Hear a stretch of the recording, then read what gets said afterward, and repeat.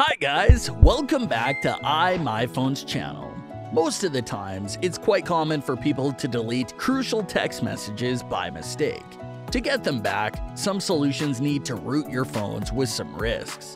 But is it possible to recover deleted text Android without root? The answer is yes, and you can retrieve it all by yourself. So, make sure to watch this video to the end to know how you can recover deleted text messages on Android without root. Method 1. Using SMS Backup and Restore app. SMS Backup and Restore is a free app that can be used to backup and restore messages on Android without root. Step 1. Download and run this app on your phone. Click Backup Now and select your backup location to start. Step 2. Now you can go to Message app to delete the message. Step 3. If you want to recover deleted messages, go back to the app and tap on Restore. Choose Messages option and tap on Restore.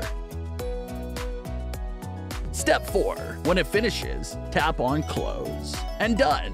You will successfully restore deleted text on Android now. Although this app is free to recover messages, the downside of the app is that you need to have backup before recovery. And the process of setting it up and connecting it to your Gmail account is tedious and confusing. Method 2. Using iMyFone D-Back.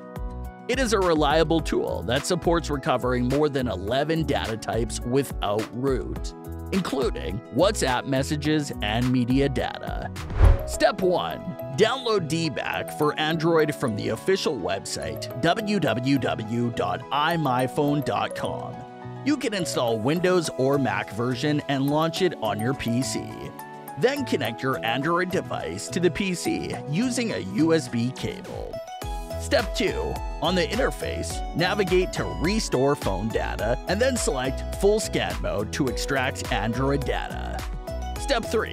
Before scanning, tap on Allow option on your phone to access permission request and then click Next on your computer. The scanning might take only a few minutes to complete depending on the file size. Step 4.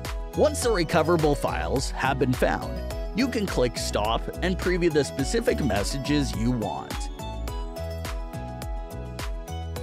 After that, you can recover the text messages to device or PC. That's all. Quick, easy, and fast, right? Just click the below line and get a free trial. If this video helps, please drop a like and subscribe to this channel. Videos here provide various solutions on data recovery issues. If you have any questions about recovering data from Android, just comment below. Our data recovery expert will help you.